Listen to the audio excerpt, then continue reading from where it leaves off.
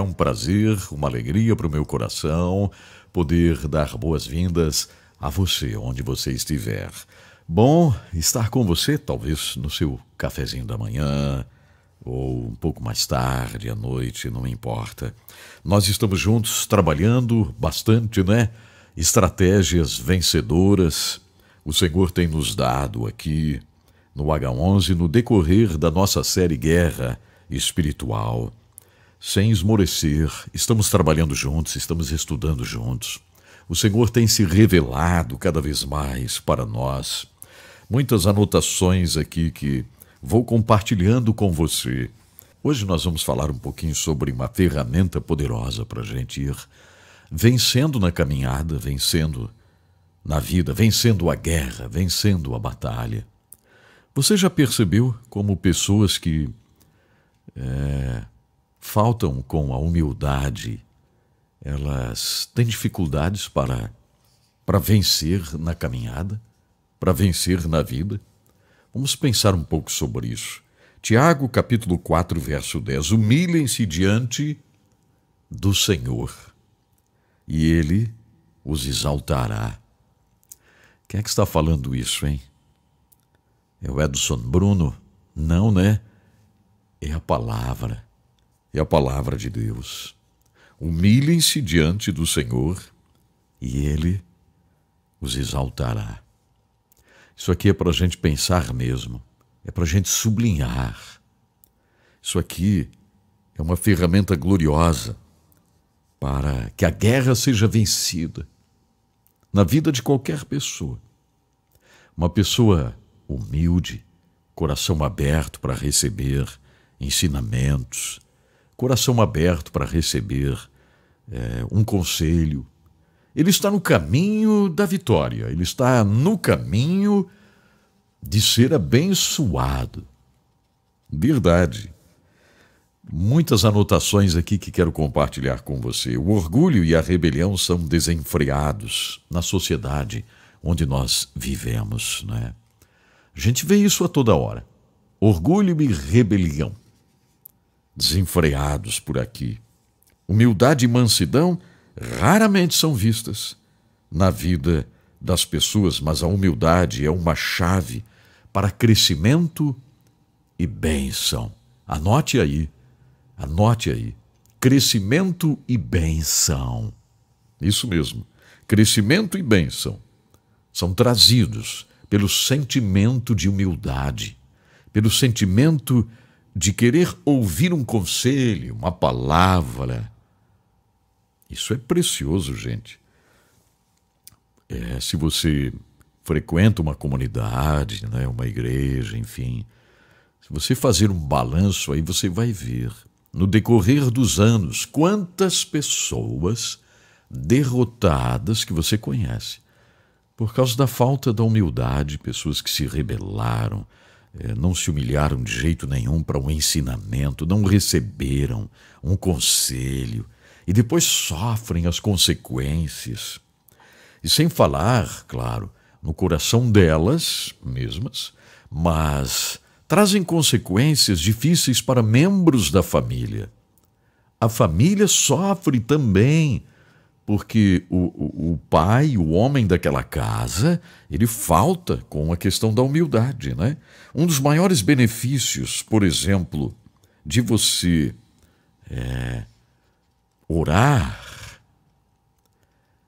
é que você desenvolve um sentimento de humildade, porque a oração, você colocar-se de joelhos na presença de Deus e reconhecer como você precisa dele, colocar diante de Deus suas fraquezas, enfim, sabe?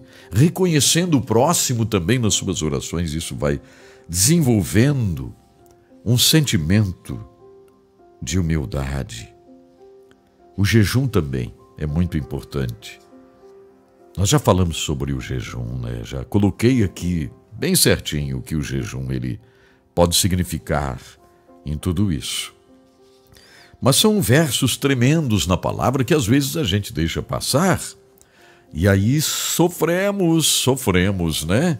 Olha aqui, ó. vamos abrir em Provérbios, capítulo 18, verso 12. O que vamos ler em Provérbios 18, 12? Só para você lembrar, porque você já leu muitas vezes. Antes da sua queda, o coração do homem se envaidece, mas a humildade antecede a honra. Muitas vezes você já leu esse verso. Né? Antes da sua queda, o coração do homem se envaidece. É triste quando a gente vê alguém vaidoso. Né? É queda, é queda. A guerra está sendo perdida, vai ser perdida. Temos exemplos na palavra. Manassés, filho de Ezequias, foi um dos reis mais ímpios da história de Judá. Ele era idólatra e praticava bruxaria. Tudo isso nós já estudamos. Nós já estudamos. Estudamos na série Jeremias muitas coisas envolvendo períodos que a gente menciona aqui, como este.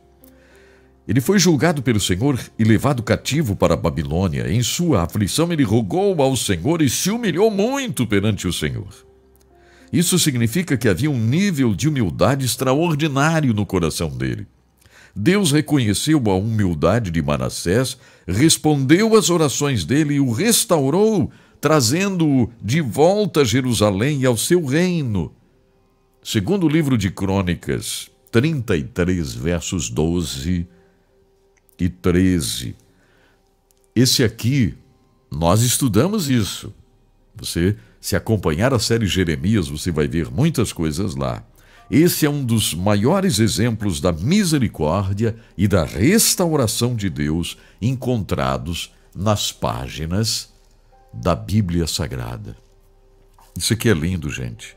É uma grande história de misericórdia e redenção, porque misericórdia e redenção são os nomes de Deus. Deus que redime, Deus misericordioso. Nosso Deus é bondoso, perdoador ele se aproxima daquele que se humilha. Essa história também mostra o poder da humildade, que é a chave para a libertação e a restauração. Não importa no que você esteja envolvido, se você se humilhar e clamar ao Senhor por libertação, Ele vai responder, Ele vai libertá-lo, Ele vai restaurá-lo. Para finalizar hoje, Salmos 35, verso 13. Palavra, né? Palavra de Deus, Salmos 35, 13. Contudo, quando estavam doentes, usei vestes de lamento, humilhei-me com jejum e recolhi-me em oração. Resposta vem, resposta vem, glórias a Deus.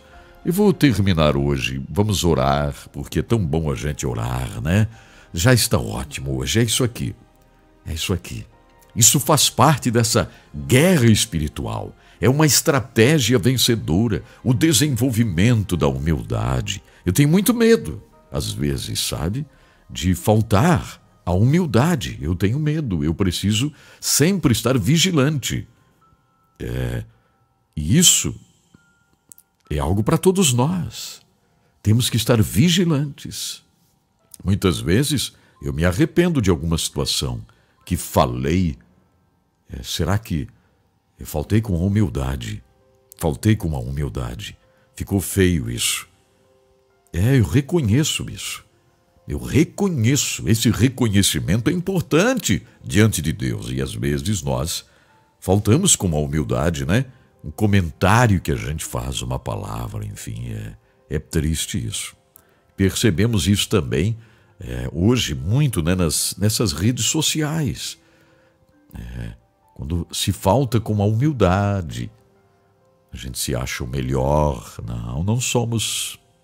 Eu não sou o melhor, não, de forma alguma, né? Não.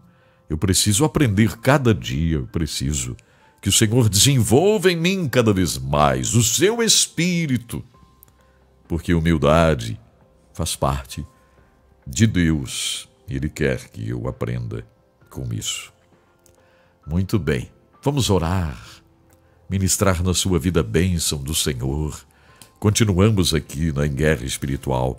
Alguns pontos bem importantes que eu quero continuar tratando. Depois nós vamos ter alguma coisa aqui para finalizarmos esta série, mas, enfim, Está sendo tão bom, gente. Está sendo tão bom, né? Não estou com coragem de terminar esta série, mas já está caminhando para o final, já está na hora de a gente ir terminando. É. Vamos orar, Pai maravilhoso, tu és tão bom.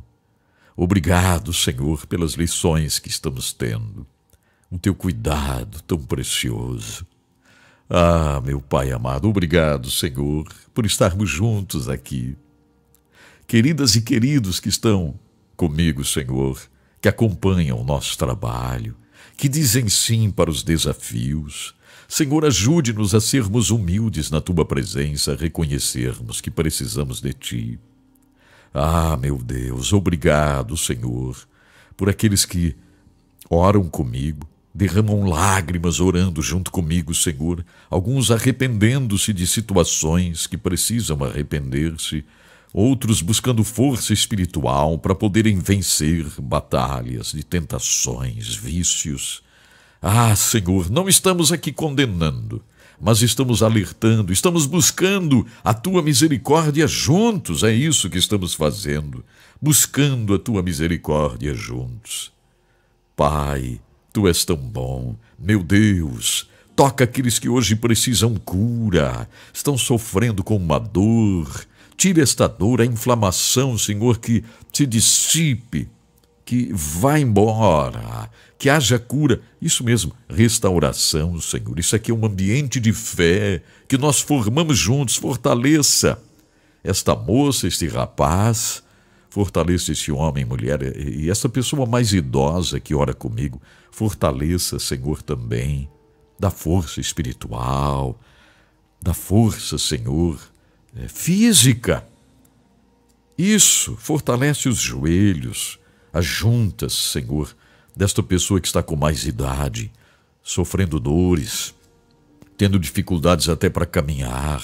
Fortaleça, tendo dificuldades porque mora sozinha ou talvez mora sozinho, e a solidão começa a bater na porta. Tira, Senhor, a solidão, traz um espírito tranquilo, Pai, de calma. Tu és nossa calma, Pai. Em nome de Jesus eu oro. Amém, Senhor, amém. Glórias a Deus. Deus abençoe você grandemente e vamos orar para que o Senhor nos fortaleça cada dia mais. Não é verdade? É bom estarmos juntos pela graça do Senhor.